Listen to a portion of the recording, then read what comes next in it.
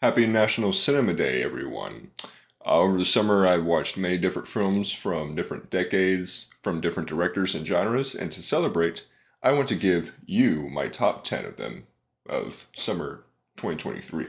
Alright, so first, let's go through some honorable mentions Eyes Wide Shut, Barbie, Requiem for a Dream, Josie and the Pussycats, Inglourious Basterds, Inside Llewyn Davis, Manchester by the Sea, The Grand Budapest Hotel, Little Women, Midnight Cowboy, Head, and Aftersun. Number 10 is Metropolis. Now, Metropolis is directed by Fritz Lang.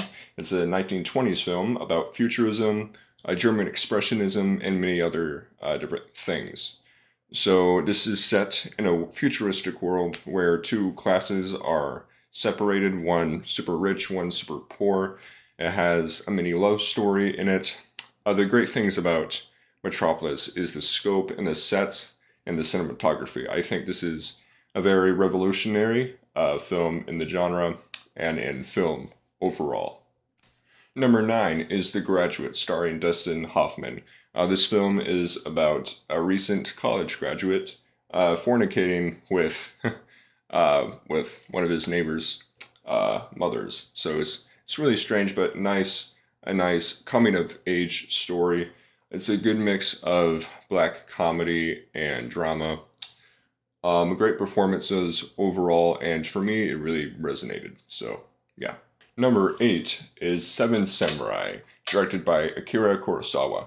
This is a great 1950s uh, samurai film. What I really like about it is there's a different diverse group of characters that come together to fight uh, evildoers from a village. So it's, it's really cool uh, to see people coming together as as well as uh, the awesome, interesting, uh, brutal fight styles that is seen. And I also like great character moments inside of it. So uh, yeah. Number seven is Martin Scorsese's uh, The Wolf of Wall Street. Over the summer, I watched many different Scorsese films, but this is probably my favorite out of all them. Uh, I do agree with the majority of people that this is uh, DiCaprio's best performance. He's phenomenal, uh, as well as Margot Robbie, Jonah Hill, and the whole ensemble. It's great to see a scumbag uh, and other scumbags uh, rise to cheat the system, and like what, what's the negatives and downfalls of that. And it's it's a great mix of black comedy and like I, I really like the editing and the screenplay. So yeah, Wolf, The Wolf of Wall Street. Number six is Ang Lee's Brokeback uh, Brokeback Mountain uh, from 2005, starring Heath Ledger and Jake Gyllenhaal. Uh, these characters are both uh, gay lovers, and we get to see their positives and negatives towards each other, how it affects their relationship with their uh, lives. It's a very great, uh, dramatic piece of work. So uh, I also love the cinematography uh, in this of the mountains, and again the great performances from Ledger and Gyllenhaal. It's it's very uh, gut wrenching.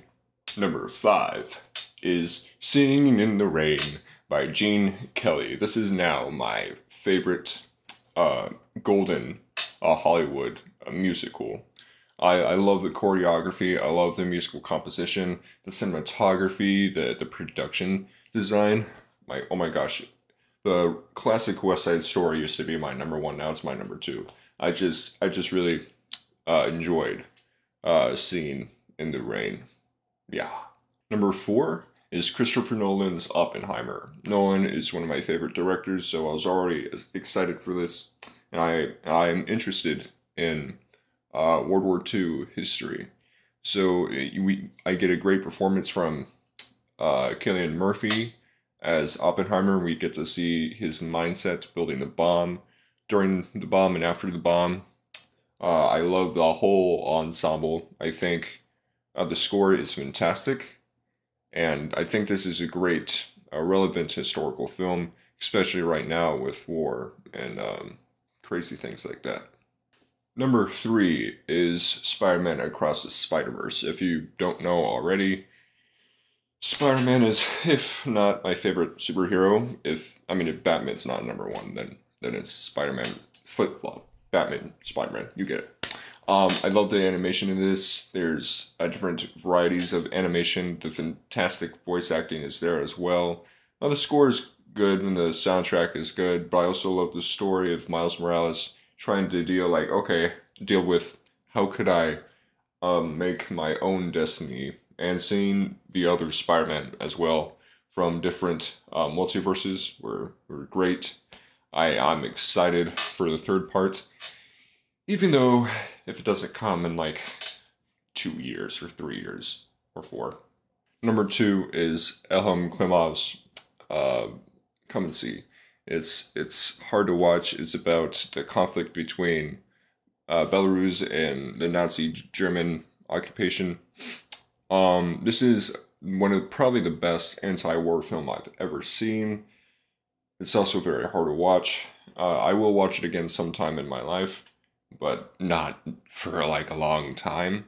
I if you have kids, I recommend don't showing them this. I I'm an adult and I could barely watch it. Um, so it is is a fantastic film, but it's just it's hard to watch. Finally, my number one is Park Chan Wook's Oldboy from 2003. Uh, this is probably one of the best South Korean films I've watched. It's about a man who is trapped within a prison cell out for 15 years and he comes out trying to find his daughter. And throughout the film, uh, we see awesome action sequences and other things that he occurs. Um, the, the fantastic performances is there uh, the awesome cinematography and fight choreography is there. Like I, I, knew about this film for a while, but I just never watched it uh, until uh, this past summer, and it just passed its 20th anniversary, so that's pretty cool. All right, everyone. So those are my top 10 movies that I watched over the summer. Go check them out if you are interested, and have a nice day.